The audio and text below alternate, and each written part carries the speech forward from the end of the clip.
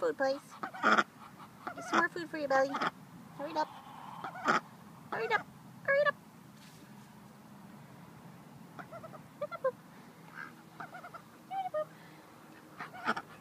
Fluffy? Yeah. How are you doing? Are you pretty good? Hard to see you in the sunshine. Did you take another bite, Dan Dan? Boy, you're happy to be home, aren't you? You do not like going to the vet's office? Don't take me to the vet.